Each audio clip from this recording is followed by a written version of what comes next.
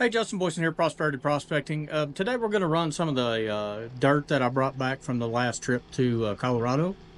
And uh, we're going to be running it through the Gold Hog today. We're going to use both mats. Um, of course, uh, the scrubber mat is at the end with a much less uh, pitch, um, but it cleans it up, gets a lot rid of a lot more cons. So, um, so I want to raise you guys up, and I've already started running it. Going to raise you guys up and let you guys watch here for a little bit. Thanks for watching.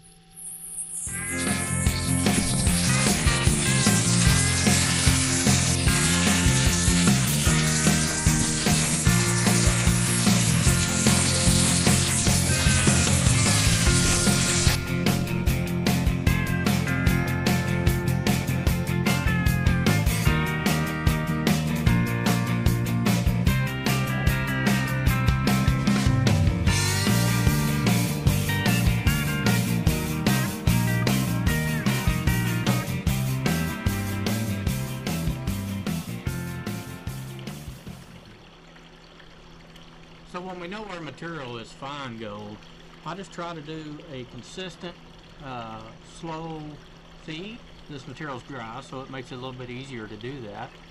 Um, but you can see the mat from end to end is turning uh, the color of mud because um, it's level, it's the right pitch, and the right feed. So it's important to feed it at, at a good, consistent rate. And you'll notice here shortly, every once in a while, I'll let it run for just a second to let it go ahead and clear all the way out, um, like I'm doing right there. Then I'll go to the next spoon, okay? So just be, just remember to be consistent in your feed. Uh, don't overfeed it, don't feed it too quick. Um, but you can get a little bit aggressive with this gold hog. It does a magnificent job of catching the material. So I've already ran about uh, maybe a gallon before I turned the camera on just to get everything set up properly. Um, so you guys seen it run. So what I'll do is, is I'm going to pause this video and I'll pick you guys back up when we're down to uh, uh, the scrubber mat. I'll let you see a little bit of that. And then after that, we'll pause it and uh, I'll let you guys see me pan it start to finish. So anyways, I appreciate you guys watching. I'll see you on the next one.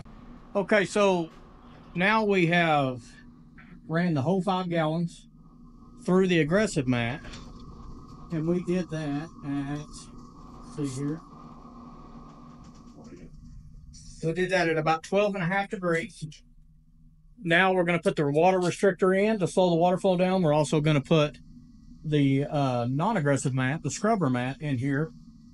And uh, we'll reduce that pitch down to about five degrees or so. So um, I'm going to take this apart real quick and let y'all watch that. And then we'll move on to the next.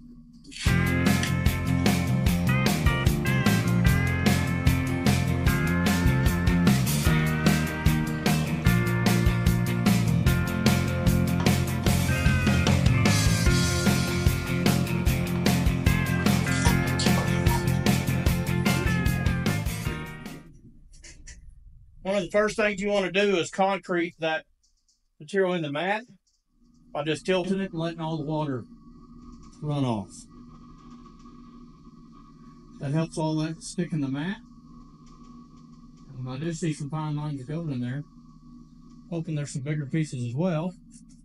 But this particular place I got this dirt from is if there is gold in it, it's going to be a huge bonus.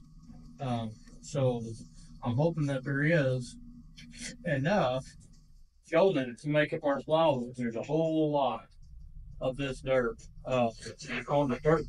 So it's easy to get. We're going to go straight into our mat. Get you down here. And I'll roll that up.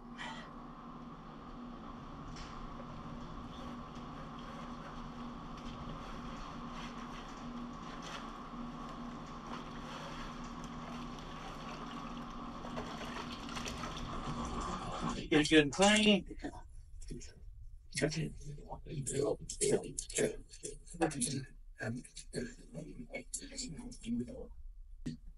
Nice and clean. Okay. Done with that mat for now. Okay, I'm gonna shut you guys down for a minute as I get the other mat ready and get the dirt grease and everything set. And I'll turn you back on. Thanks for watching. Okay, so what we've done now is we've uh, put the uh, scrubber mat on here. The water, you can see how quick it gets dirty when you're running five gallons of dirt. Um, we changed that pitch dramatically. It's at about five and a half degrees. Um, we've slowed the water down, and uh, so we're ready to start feeding it. I'll let you guys see that for just a second. Not much different than what you saw earlier, but um, just to give you guys an idea. So uh, before I do that, I'm gonna dump this water out and I want you guys to see how little material's left after we run that through there. So after we run it through the aggressive mat, that's all that's left. It, it cuts out a lot of panning. So let's get this ran through and uh, so we'll see what we got here in the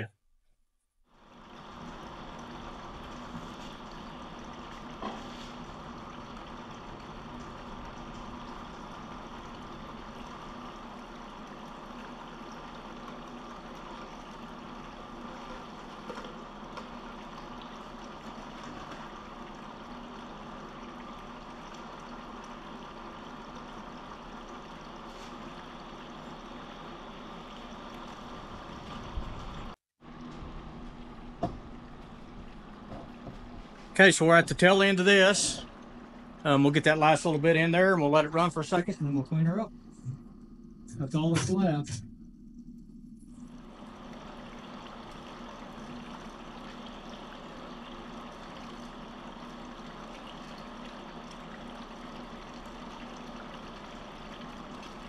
Okay.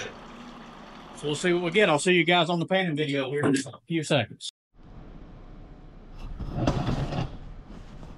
Okay, I'm gonna go over there and get the mat off the Gold Hog.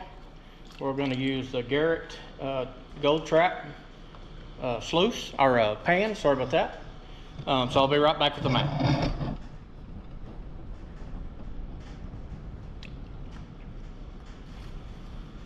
All right, here we go. I just put it in a pan. Just gotta be careful. Super easy to lose it if you're not careful. Just use a pan.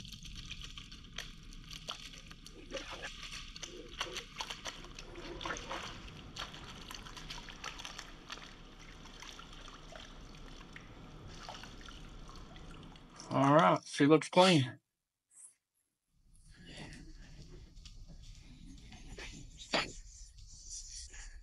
Let's get it painted out and see if we got anything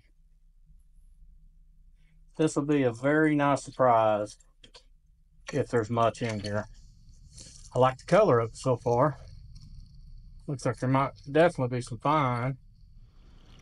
I don't know if you get you guys can see that.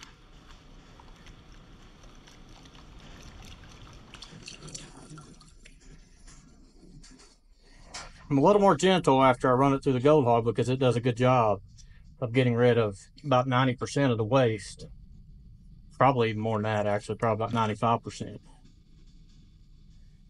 so I don't want to wash any good stuff out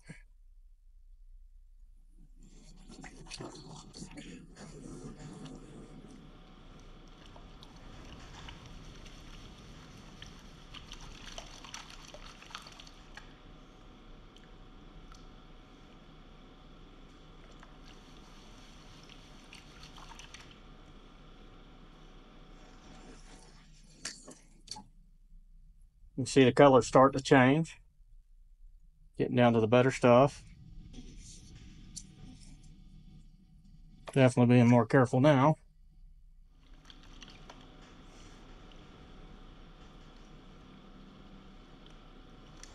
One more time and we'll see what we got. Okay. About as far as I want to go.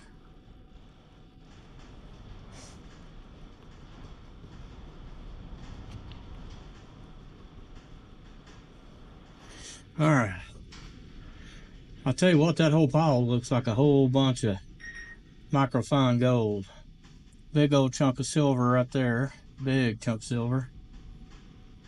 I'm going to pan this back just to see if there's any bigger stuff in there. I'm seeing a bunch more silver come to the surface. Um, but I'm going to smelt every bit of this because there's a lot of fine gold in that pan. A measurable amount of fine gold in that pan. So uh, I'm going to speed this up just to see if there's any big stuff in there. But again, we're going to smelt this all, so we we're not going to lose any. With this much fine gold in it, probably what I will do is all the cons that are in there, I'll probably run it through the gold strike just to uh, capture all that we can so that I can get a true measurement on that five gallons to know if it's worth going back and mining that. But I can tell you right now it is. But I want true true numbers. I want to know what to expect when I go in. That way I know if my equipment's doing what it's supposed to do. If if I know the math, then I gotta, you know, the equipment. Up to me and the equipment after that. So I don't see any big chunks of gold, a couple big chunks of silver, um, and lots and lots of fine gold. So with that said, um, I appreciate you guys' uh, support. I appreciate you guys being on them videos with me, and I try to get better. Uh, I'm not the best at it, I know that, but I, I love what I do, and I hope you guys love watching it, and because we're going to continue to do it. So I will see you guys on the next one. Thanks for watching.